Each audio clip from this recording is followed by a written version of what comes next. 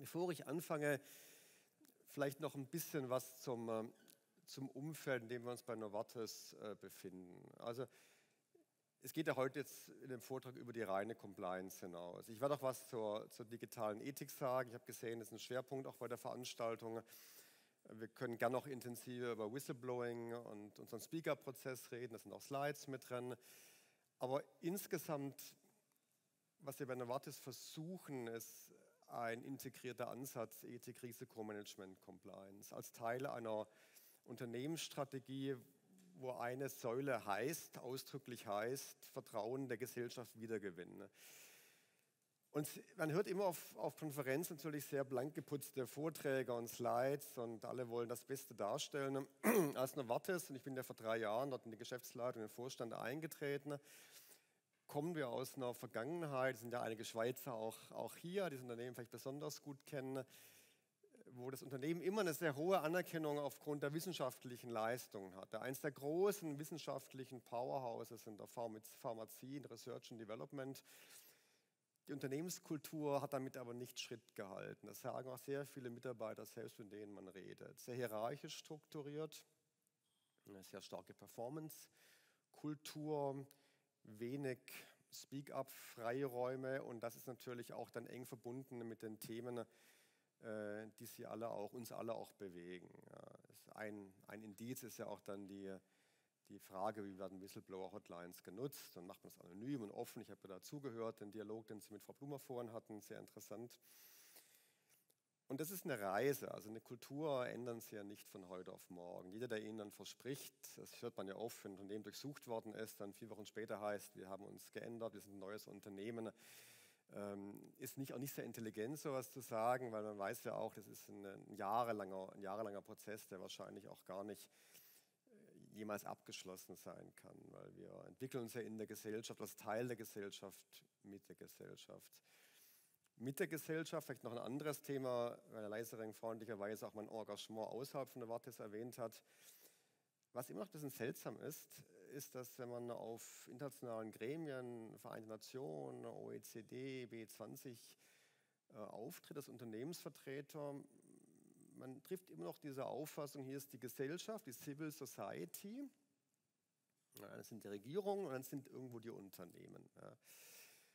Und ich glaube, dass wir alle versuchen müssen, auf einer sehr ehrlichen Weise, auch mit Anerkennung unserer Fehler und unserer Rückschläge, dass wir als Unternehmen Teil der Gesellschaft sind. Wir repräsentieren einen ganz, ganz großen Teil der Gesellschaft mit unseren Mitarbeiterinnen und Mitarbeitern, den Wertschöpfungsketten, die auch viele Herausforderungen mit sich bringen. Lieferkettengesetz ist ja ein aktuelles Thema, Menschenrecht, auch darauf gehe ich ein.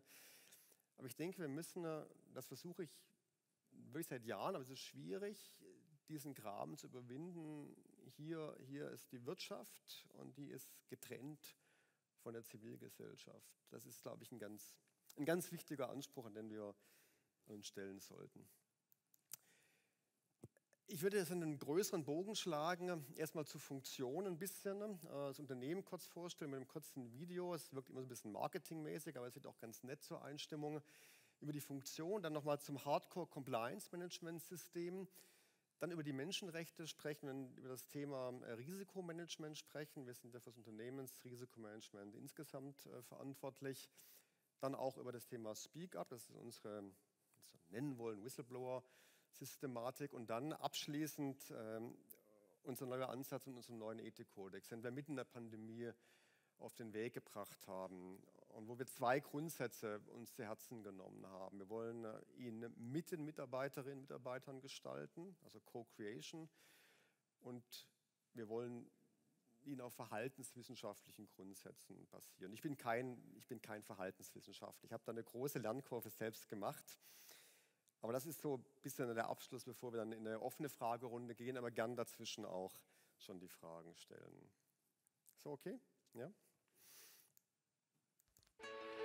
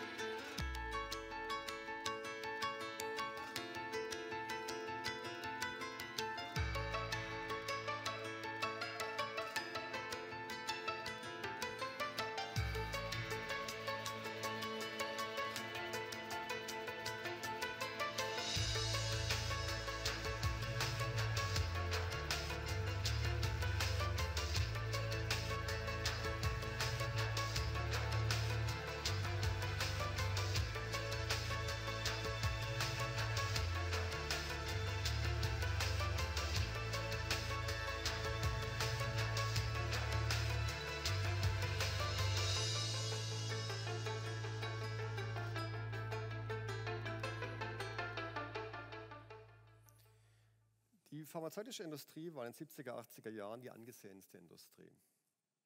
Bis vor der Pandemie war sie ganz unten in der Skala der Reputation. Ich glaube, äh, davor kam eigentlich nur äh, noch äh, ja, Regierungen und dergleichen, aber ganz, ganz unten auf der, auf der Skala. Was ist passiert? Das ist jetzt ein sehr emotionaler Clip gewesen, wo es viele sagen, ja, das ist so ein Marketing-Gag, aber es ist eine unglaublich interessante Situation im pharmazeutischen Unternehmen. Sie haben Mitarbeiterinnen und Mitarbeiter, die, die unglaublich motiviert sind. Das ist wirklich das Purpose, weil es gibt keine Industrie, die näher am Menschen ist als unsere Industrie. Und sie haben ein tiefes Misstrauen der Gesellschaft, der Behörden gegenüber der Industrie, in der Art, wie wir Medizin an, äh, zu den Menschen bringen, unsere Geschäftsmodelle, die Margen, äh, die Gewinne, die erzielt werden in den letzten Jahrzehnten, auch die Art, wie es Unternehmen, Unternehmen aufgetreten sind. Das hat sich jetzt in der Pandemie natürlich äh, etwas geändert, wenn man sich die Ratings, Edelmann Trust Barometer und dergleichen anschaut. Aber vielleicht ist das auch ein bisschen eine Scheinsicherheit, weil vielleicht hat sich das Vertrauen in die Wissenschaft verändert, nicht so sehr das Vertrauen in die Industrie. Das muss man genau beobachten, weil die großen gesellschaftlichen Fragen, Zugang zu Medikamenten, zu bezahlbaren Preisen, Diversität äh, in den klinischen Versuchsreihen, die sind natürlich weiterhin da. Und darum, und das vorangestellt, diese Industrie ist voller ethischer Dilemmas. Voller. Die können sie gar nicht ausweichen. Und ich habe in meinem früheren Leben ähm, mal gesagt, also ich bin Chief Compliance Officer und also Ethik will auch den Titel gar nicht haben, dem können Sie in der pharmazeutischen Industrie gar nicht ausweichen. Wenn Sie das Thema der ethischen Dilemmas, nicht der Lösung der Dilemmas, nicht aufgreifen, dann wird man das Vertrauen, das man verloren hat über viele Jahre, nicht, äh, nicht zurückgewinnen.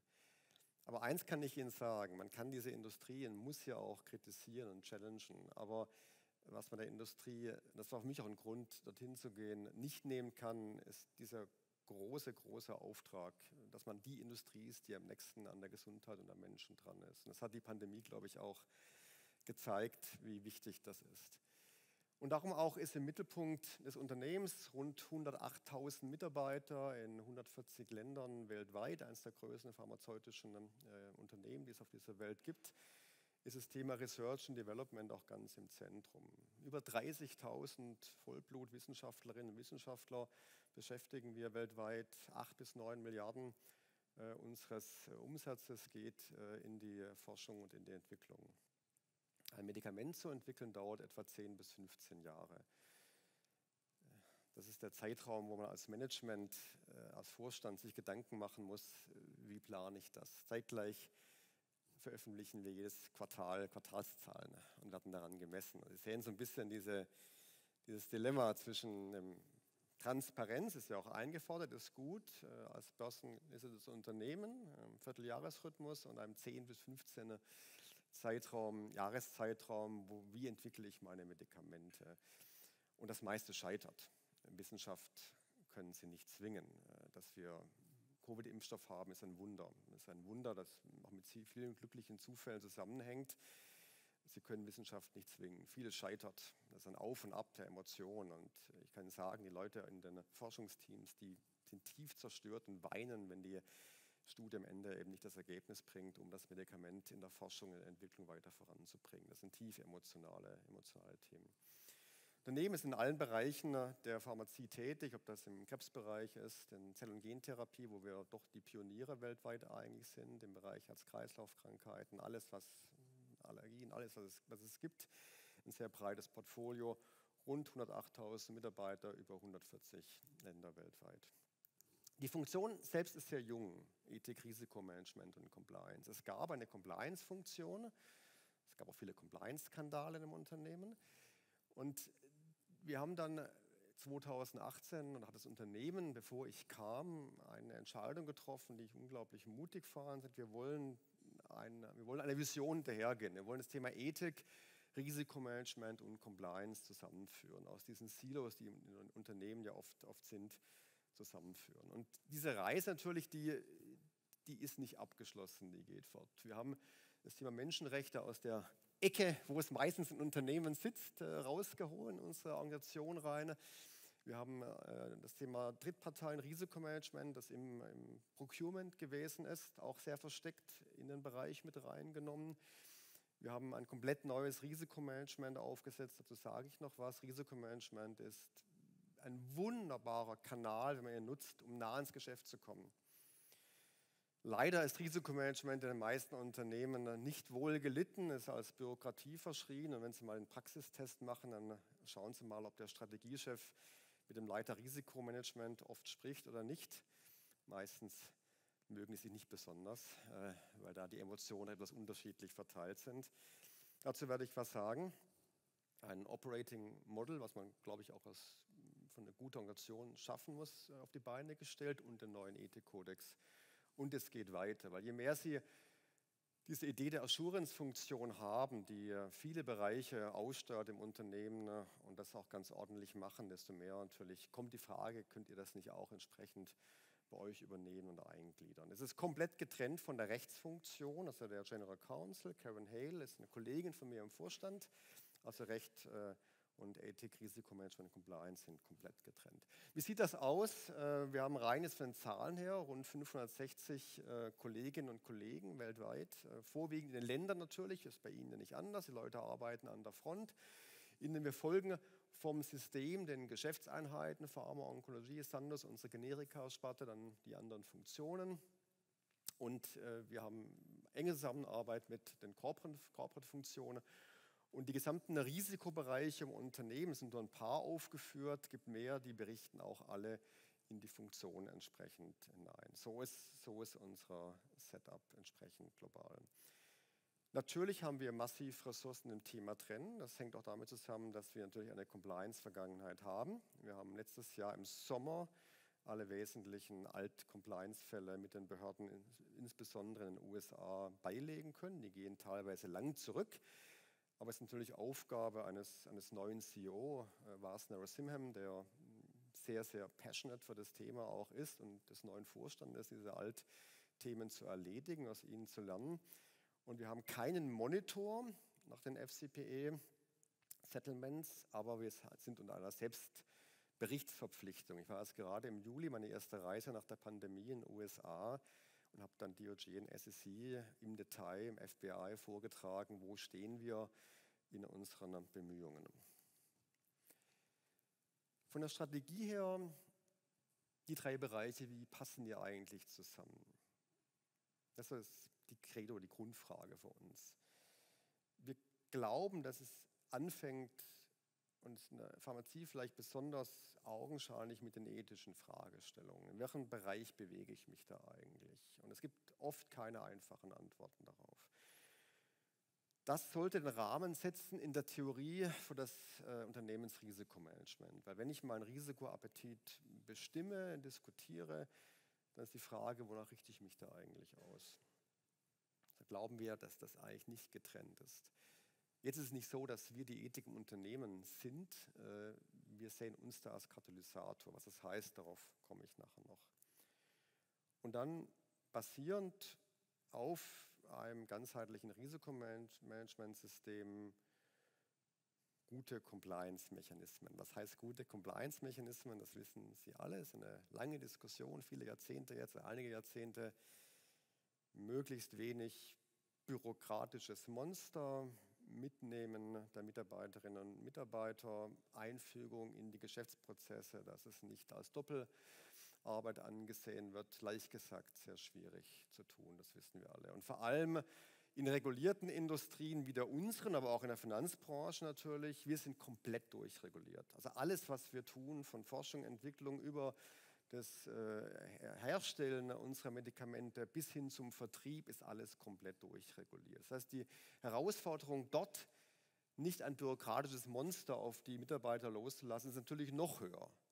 Und mit den Settlements im Rücken und der Gefahr, bin ich dann ein Wiederholungstäter, wenn wieder was passiert. Es passiert immer was natürlich in großen Unternehmen.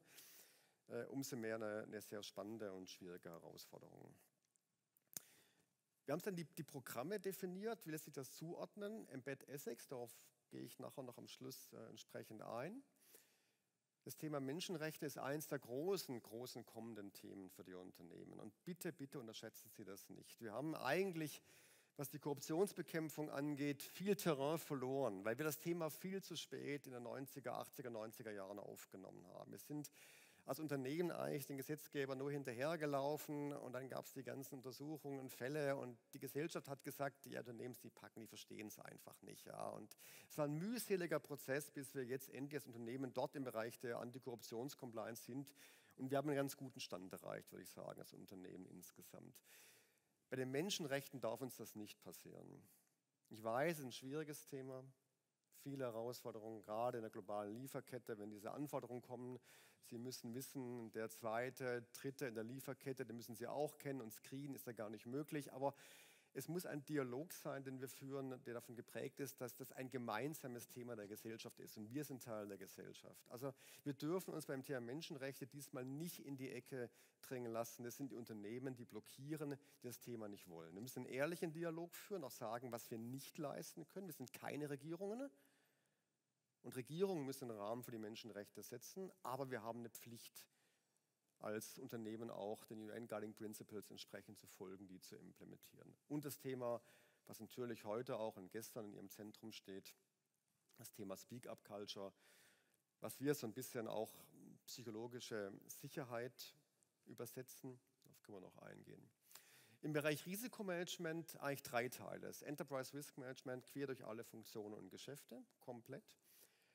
Und dann verbunden damit haben wir gesagt, wir brauchen, das hat komplett dezentralisiert bei Novartis, ein gutes Policy- und Control Management. Das internes Kontrollsystem und das Managen aller Unternehmenspolicies und Richtlinien haben wir auch bei uns entsprechend verankert, weil es sehr gut zum Risikomanagement passt. Und dann der große Punkt Third-Party Risk Management, darauf gehe ich noch gesondert ein, was eine, wie wir alle wissen, eine große Herausforderung ist.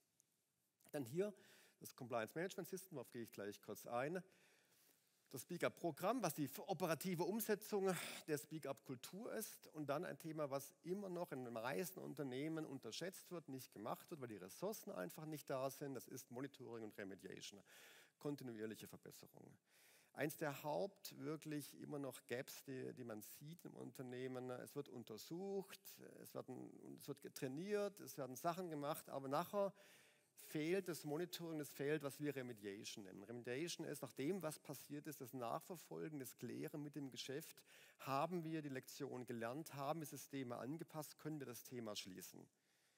Es ist leider so, die Unternehmen, klar, Zeit, tagesgetrieben, das Thema ist irgendwie erledigt, rechtlich geklärt, wir, wir gehen einen Schritt weiter. Aber man muss die Sachen erstmal abschließen. Das ist ressourcenintensiv, aber das ist wert, das entsprechend zu zu investieren.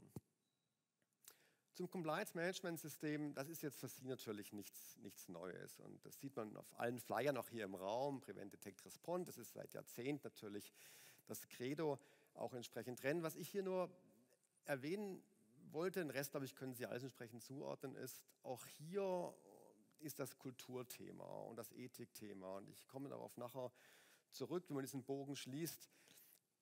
Ich kenne immer noch Compliance Kolleginnen und Kollegen, die sagen, also mit dem Thema Kulturethik will ich nichts zu tun haben. Ich sorge dafür, dass bestmöglichst, äh, es passieren immer Unfälle, das wissen wir, die Gesetze eingehalten werden. Das ist meine Ambition. Aber das langt für nicht mehr aus, wenn wir als verantwortungsvoller Teil der Gesellschaft über die Zeit wieder aufgenommen und akzeptiert sein wollen. Das langt leider nicht mehr aus. Ich weiß, es ist schwer genug, diese wahnsinnige und immer ansteigende Flut von Gesetzen durch gute Systeme und IT-Systeme und Audits und Kontrollen zu versuchen, in den Griff zu bekommen. Aber selbst wenn sie es erreichen, langt es nicht aus. Weil das ethische Dilemma, das nicht gesetzlich geregelt ist, haben sie damit nicht erwischt.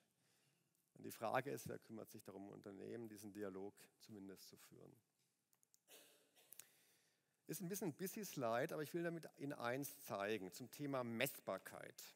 Messbarkeit. Wenn Sie mit Investoren reden, und ich bin alle zwei Wochen Investoren-Calls praktisch, mit Analysten reden mit diesen berühmten Rating Agencies reden, äh, die kennen das Thema ESG, die diese Ratings bestimmen, die dann von Investoren gekauft werden, die ihre Investorenentscheidungen daran entsprechend ausrichten. Das Thema ist, wie messt ihr, wie messt ihr euren Fortschritt im Bereich ESG, im Bereich Compliance überall. Wir haben gesagt, wir haben als Unternehmen ja eine Vielzahl von Daten, also eine Masse von Daten in den letzten Jahrzehnten gesammelt und generiert. Teilweise leider nicht clean, sind leider keine also sauberen Daten, aber man wird da besser als Unternehmen, die Systeme werden besser. Und aus diesen Daten, das ist jetzt eine, der nächste Schritt der Compliance, der operationellen Compliance, geht es in die Messbarkeit.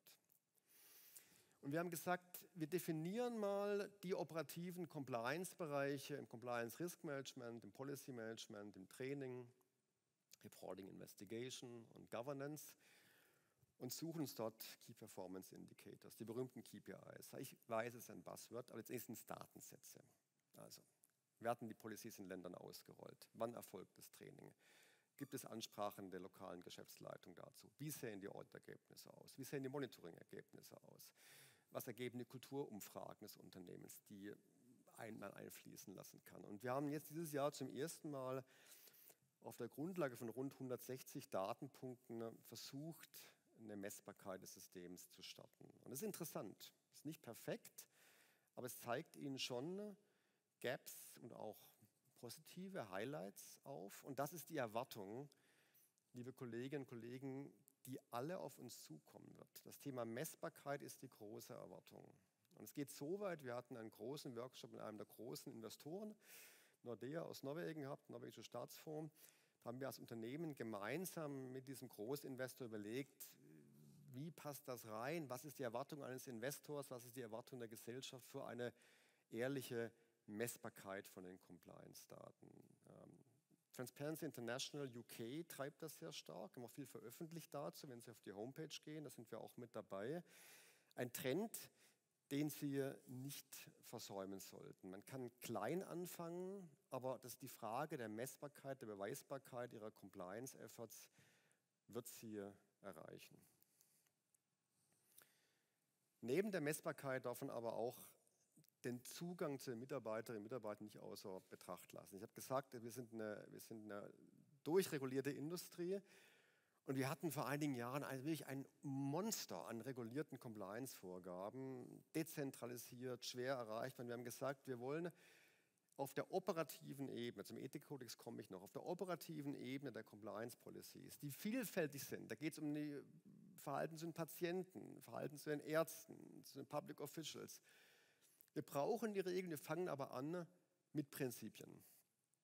Wir fangen mit diesen fünf Prinzipien an und sagen, mit diesen fünf Prinzipien, bevor ihr ein, eine Reise zu einem medizinischen Kongress für einen Arzt bezahlt, der dort auftritt, eine Rede hält, beispielsweise wissenschaftlich fundiert, stellt euch mal entsprechend diese Fragen. Machen wir das wirklich aus dem, aus, mit dem Hintergrund einer Förderung einer, einer wissenschaftlichen Fortbildung oder hat es einen, einen kommerziellen Hintergrund? Wenn wir eine Patientenorganisation unterstützen? Ist das wirklich, um, um, um Einblicke zu bekommen, die Leiden der Patienten für unsere eigene Forschung, das wertvolle Rückmeldungen sind? Oder ist das im Prinzip ein bereits Vorbereiten äh, eines, eines kommerziellen Launches eines Produktes? Und das ist auch nicht perfekt. Sie brauchen auch natürlich detaillierte Regelungen und Checklisten und Genehmigungstools, aber diese Prinzipienthematik, die hat sich in das Gedächtnis der Leute eingebrannt. Und das Thema, das nennen wir P3, ja, Professional Practice Policy, P3, P3, das kennt eigentlich jeder bei Novartis, was P3 ist mittlerweile nach, nach zwei Jahren. Und das ist eigentlich schon eine, eine wichtige Sache. Und ich komme zum Ethikkodex, wie es zusammenpasst, auch nochmal zurück. Zum Thema Menschenrechte. Äh, habe ich schon viel dazu gesagt. Das ist ein Thema, dem wir uns nicht nur aus Pflicht stellen sollten, sondern auch aus, aus intrinsischer Motivation, dass es ein wichtiges Thema für uns alle ist. Und sie können damit die Reputation ihres Unternehmens ruinieren, wenn ihnen dort ein, ein massiver, massive Sachen unterlaufen, sie massive Themen ihrer Lieferkette entsprechend nicht sehen. Es geht natürlich auch um die Menschenrechte im eigenen Betrieb, aber klar, bei äh, Unternehmen, die schon bereits sehr gute Standards intern haben, geht es natürlich primär um die Lieferkette. Das ist, ist offensichtlich. Und um die ganz schwierige Frage, positioniere ich mich ja oder nein bei gesellschaftlichen Konflikten? Ganz schwierige Frage als Unternehmen. Nehme ich in Ländern, wo es gesellschaftliche Konflikte gibt, Stellung? Ziehe ich mich daraus zurück, wenn die menschenrechtliche Lage äh, schwierig wird oder bleibe ich im Land. Was ein ethisches Dilemma für ein Pharmaunternehmen ist, weil aus den Ländern, aus denen ich mich zurückziehe, schneide ich die Patienten von der wissenschaftlichen Innovation ab, schlicht und einfach. Wir ziehen uns aus Ländern zurück, das machen wir. Wir haben ein eigenes Komitee, wo wir diskutieren, in welchen Ländern können wir Geschäfte machen. Das sind sehr, sehr schmerzliche Entscheidungen. Wir liefern immer noch humanitär über die WHO und andere, aber sie schneiden Patienten von wissenschaftlichen Entwicklungen ab. Von daher, Themen der Menschenrechte sind zentral für die Unternehmen und man sollte sie möglichst praktisch und pragmatisch angehen. Es geht also um Themen, wie bringe ich Menschenrechte in eine Due Diligence-Form rein. Mache ich Assessments, also eine Art, schaue ich mir mal an, in welchem Bereich meine Lieferanten eigentlich tätig sind. Was für ein Umfeld ist das eigentlich? Gibt es dort menschenrechtliche Themen? Habe ich Partner möglicherweise, mit denen ich entsprechend zusammenarbeiten kann, um entsprechende Standards zu verbessern? Und es sind schwierige Konflikte. Also während Covid-19 waren die Lieferketten ja alle enorm unter Druck und es gab in Ländern, Bestrebungen der Regierung, die gesagt haben, wir, wir reduzieren die menschenrechtlichen Standards bewusst, um die Wirtschaft anzukurbeln. Und da muss als Unternehmen dann auch einen Standpunkt beziehen und sagen, gehe ich da mit oder gehe ich da nicht mit? Auch ein ethisches Dilemma und eine schwierige Frage. Also der Rat ist, schauen Sie mal im Unternehmen bei sich, wo ist das eigentlich angesiedelt, wer kümmert sich darum, ist das irgendwie operationell sichtbar, ist es nur ein Commitment, das aber keiner nachverfolgt. Und das Thema kommt, ist schon da und wird auch nicht mehr gehen. Zum Thema Risikomanagement. Das ist so ein bisschen unser äh, Dreiklang, wie wir glauben, wie wir das, das handhaben sollen. Es geht zum einen um die Erhebung der Risiken und das ist das kann keine Papierübung sein. Das muss basierend sein auf regionalen Länderworkshops, Workshops in den, Geschäfts-, äh, in den Geschäftseinheiten, Funktionen. Wir haben gerade letzte Woche unseren globalen Risikoworkshop gehabt, das ist so der Abschluss vom gesamten Enterprise Risk Management Cycle, den wir jedes Jahr fahren, wo wir dann uns fast eine Woche Zeit nehmen, war alles virtuell, mit allen Funktionen den großen Ländern, den Geschäften, die identifizierten Risiken zu besprechen und einzuordnen. Wie das aussieht, darauf gehe ich entsprechend gleich noch ein. Im Idealsystem, wir sind noch nicht dort, wir sind auf dem Weg zumindest, verknüpfen Sie Ihre Policies mit den Risiken. Das heißt, wo brauche ich eine Policy, eine Guideline dort, wo ich ein hohes Risiko habe. Wo ich kein hohes Risiko habe, kann natürlich mein Ansatz entsprechend sehr weit runtergehen. Und ich rede jetzt nicht nur über die klassischen Korruptionsrisiken, ich rede genauso über Risiken im Bereich der Cybersecurity, des Qualitätsmanagements, des Datenschutzes und so weiter und so fort. Und dann äh, das interne Kontrollsystem, das an die Policies entsprechend auch angepasst werden muss und strukturiert werden muss. Wenn man über Risiken spricht, ist man, mit Arbeiten natürlich auch, und Sie wahrscheinlich alle, ist man mit diesen netten Matrixen beschäftigt und schiebt dann irgendwelche Punkte jedes Jahr hoch und runter und weiß eigentlich gar nicht warum. Machen wir auch, weil es ist Teil auch schon des Standardprozesses. Aber was wir uns gesagt haben, ist, wir müssen das Thema Risikomanagement auch viel visibler und verständlicher machen. Auch, auch für die Kollegen der Geschäftsleitung, auch für meinen Aufsichtsrat, der Schweizer Verwaltungsrat.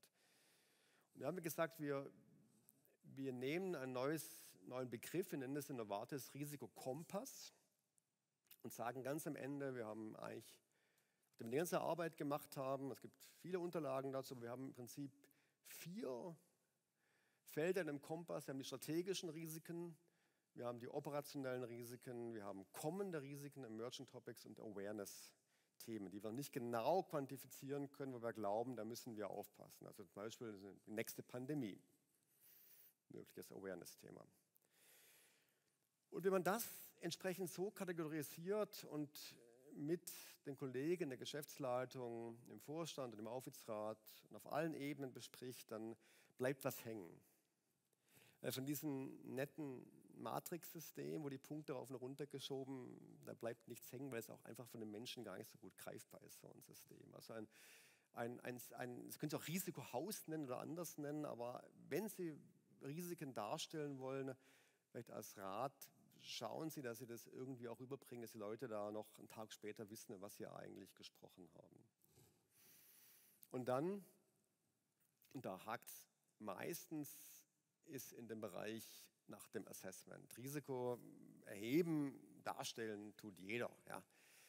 Ist auch teilweise gesetzliche Anforderung. Was dann weniger passiert, ist die Nachverfolgung. Es fängt damit an, gibt es eigentlich für das erhobene Risiko einen Verantwortlichen oder eine Verantwortliche. Und zwar keine Abteilung, sondern gibt es da einen Namen, der dahinter steht. Ganz praktisch gibt es da einen Namen, wer für dieses Risiko im Unternehmen verantwortlich ist. Wenn es das gibt, gibt es da einen Mitigation-Plan. Also gibt es einen Plan, das Risiko, selbst wenn ich es akzeptiere, was durchaus sein kann, ich akzeptiere das Risiko, aber gibt es trotzdem einen Plan, die Risiken im Griff zu halten. Und dann die große Kunstpläne gibt es viele, wird der Plan entsprechend auch nachgehalten. Passiert da wirklich was?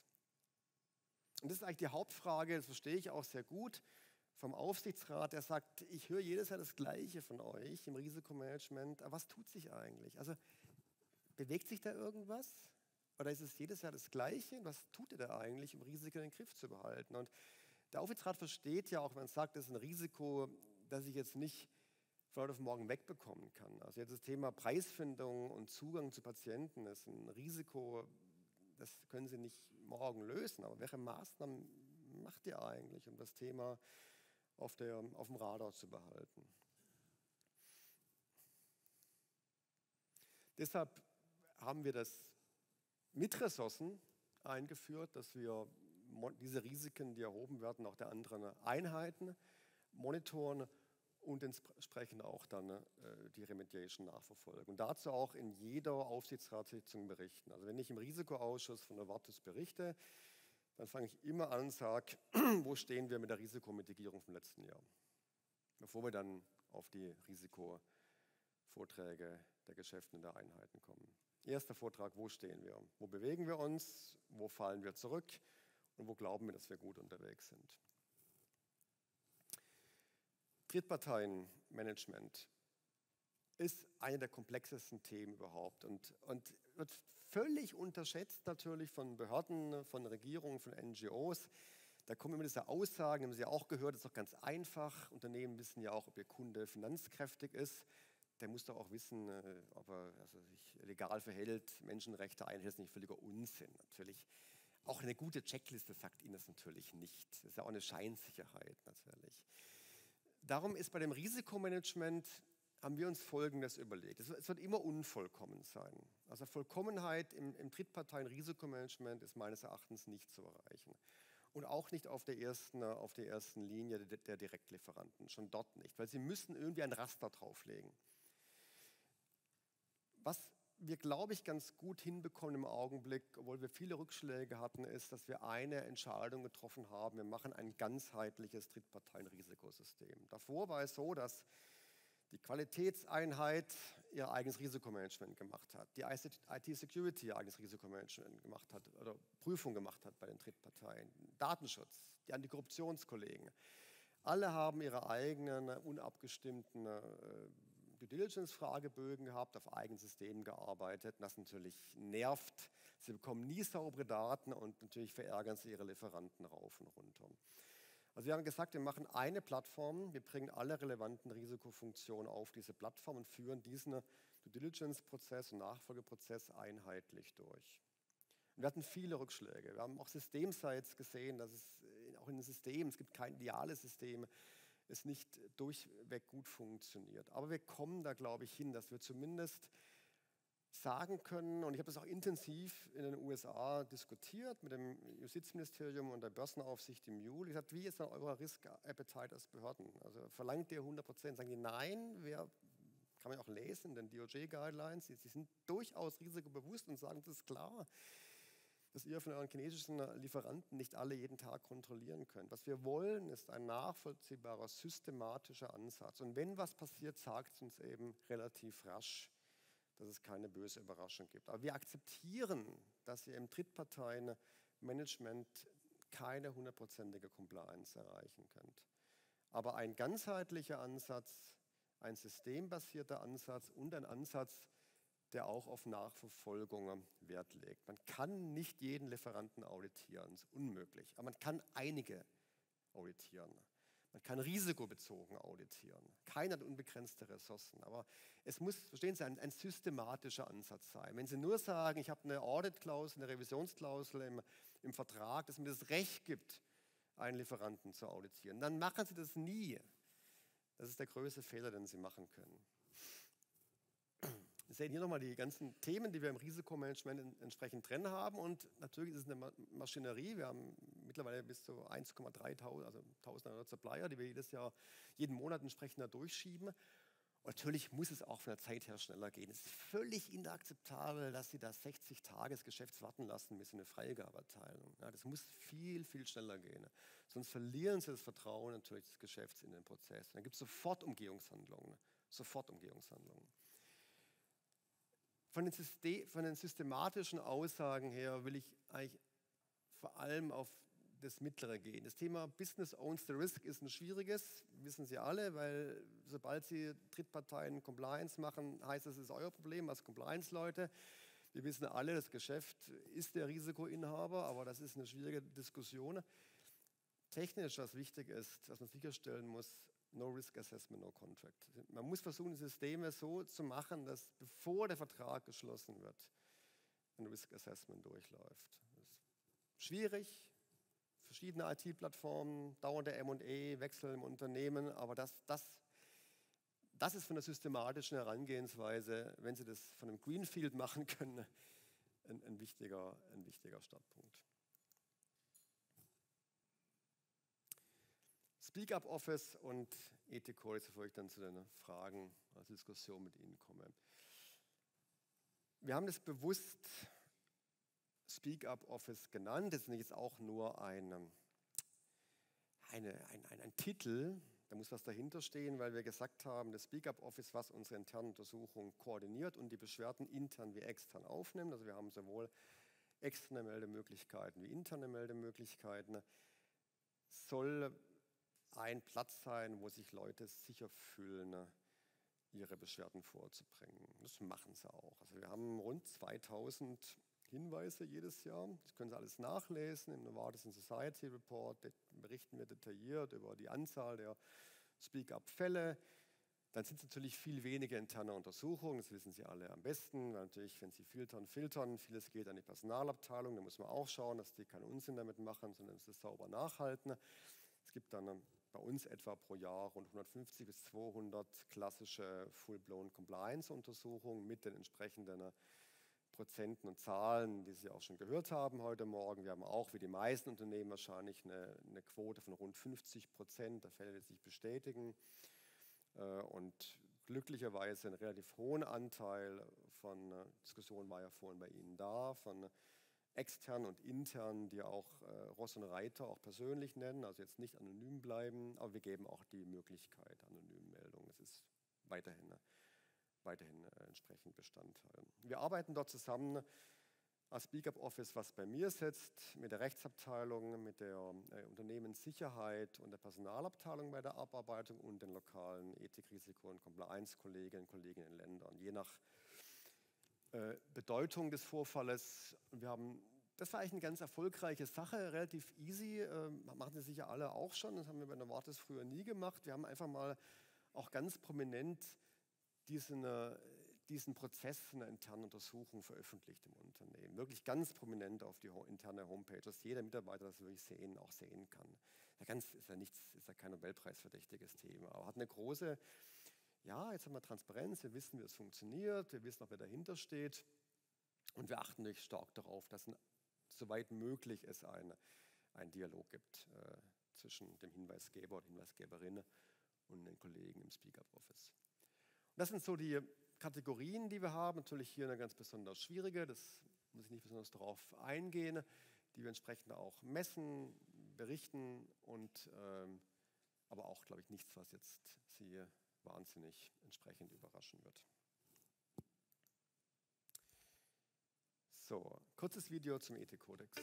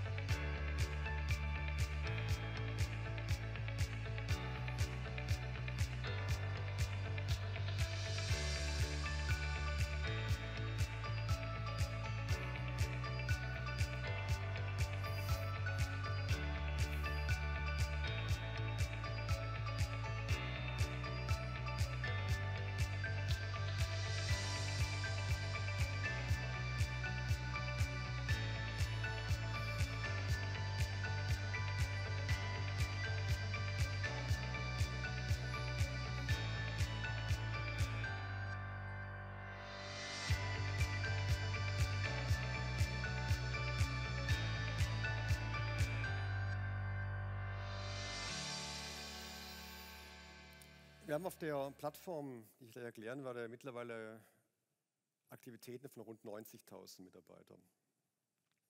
Das heißt, es wird genutzt. Der Code of Ethics war die Grundüberzeugung, dass wir die Mitarbeiter einbinden wollten in die Erstellung, dass wir auf die Verhaltenswissenschaft hören und dass wir um den Ethikkodex eine Plattform bauen, ein Ökosystem bauen, wo Mitarbeiter keine Lösung bekommen, aber Hilfe bekommen.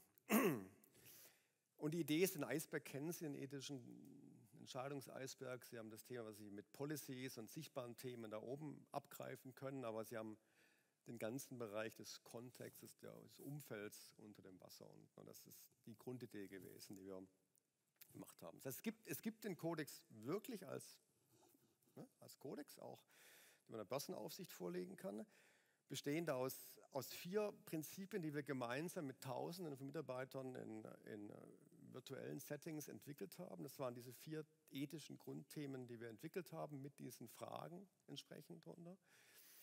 Und auf diesen vier ethischen Grundprinzipien basieren dann die jetzt mittlerweile 23 ethischen Commitments, Zusagen, die wir Unternehmen geben, Unternehmen geben. Und die haben wir auch alle mit den Mitarbeitern entwickelt. Also wir haben gesagt, was wollt ihr lesen? Klar, die Korruption, Kartellrecht, aber Themen wie Menschenrechte, Themen wie, äh, wie Diversity and Inclusion, was ein Riesenthema in unserer Gesellschaft natürlich ist, sind alle so in den Code of Ethics reingekommen. Aufgebaut mit dem Commitment und warum das Commitment schlicht und einfach wichtig ist. Das ist so der, der Aufbau des Ethikkodex. 23 Commitments. Entwickelt über ein Jahr mit im Prinzip mit dem gesamten Unternehmen. Und das ist das große, auch mein persönliches Learning aus der Verhaltenswissenschaft. Die Entscheidungsfindung wird ganz wesentlich getrieben durch unsere eigenen Vorteile, Hemmnisse, Englisch Biases, dem Umfeld, in dem wir leben. Und wenn man in diesen ethischen, in diesen Decision Explorer geht und man ein ethisches Dilemma äh, gegenspiegeln kann, also mein Nummer eins ist immer die Overconfidence. Das ist bei mir immer das, was immer als Nummer eins rauskommt. Ich glaube einfach, ich weiß es und halte mich dafür zu sicher, um Entscheidungen zu treffen. Und das darauf haben wir einen ganz, ganz großen Wert gelegt in der Entwicklung des Ethikkodex. Und ein guter Leader, der ist ehrlich und sagt auch dann, eigentlich fühle ich mich gar nicht ja, komfortabel, sowas offen zu diskutieren, weil es geht uns nämlich allen so. Es ist ganz, ganz schwierig, ethische Dilemmas zu diskutieren. Und darum haben wir versucht, um diesen Kodex Hilfen aufzubauen, die genau diese Schwierigkeit adressieren. Kleine Case Studies, um einen Workshop zu starten. Äh, Hilfe fürs Mittelmanagement, um ethische Dilemmas zu adressieren. Nochmal, es geht nicht um Lösungen, es geht um die Frage, wie adressiere ich sowas. Wir haben es in unseren, in unseren Einstellungsprozess eingebaut. Also wir haben diese Themen, unsere Interviewleitfäden für Leute eingebaut, die sich bei Jobs bei Novartis bewerben. Wir glauben, wir müssen das Thema eigentlich schon bei der Einstellung aufgreifen und nicht erst im Onboarding mit dem ersten Training. Das ist so das System und ich werde dann bei der nächsten Konferenz, die ja schon angekündigt worden ist, äh, äh, im Oktober mehr dazu sagen, wie wir das genau gemacht haben, auch zu unserem großen Survey, den wir Anfang des Jahres gefahren haben, unserem Ethical Baseline Survey, wo wir unglaublich spannende Ergebnisse nach nach der Implementierung des Code of Ethics äh, von Mitarbeiterinnen und Mitarbeitern bekommen haben. Und abschließend, bevor es in die Fragerunde geht, Sie müssen das Thema am Leben halten. Und wir haben jetzt gerade vor wenigen Tagen unsere Ethik, Risiko, Compliance weltweite Woche gehabt in Novartis. Und da wollte ich Ihnen noch ein paar, noch ein paar Bilder zeigen. Hi, everyone, and welcome to ERC Week. Wow, let's get it started. Finding medicines that matter for patients and get them distributed with broad access around the world is the core. Alongside that, continuing to be a leader on ethics, risk, and compliance topics, which almost is, is the basics. Patients' voice has become way more powerful. At Novartis, we want to use AI in the most responsible way, in ethical way, and we would like to empower humanity.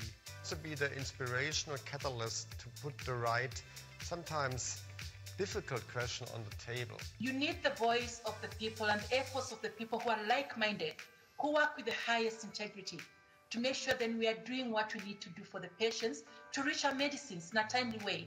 It's an opportunity here at Novartis to bring that voice into what we do in the development of our medicines. I'm super proud of this. We took on and accepted that challenge to try to find ways to uh, assist patients. It's not science fiction, it's science in action. It's how we are changing the standard of care. I think without you, we can't achieve what we want to achieve. We have to take into account that integrity is not a state, it is an act. We work at a company whose core product is medicine, and we are helping people realize the human right to health. Let's get into it.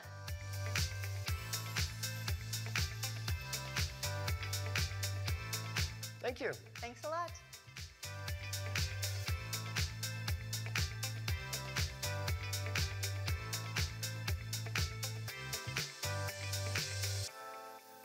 Wir erreichen virtuell sehr viele Menschen, aber wir müssen sie auch abholen. Und wir haben versucht, dieses Jahr wieder mit der ERC Week Leute auch mit Spaß, mit Sport, äh, mit unserem CEO, den Sie gesehen haben, abzuholen.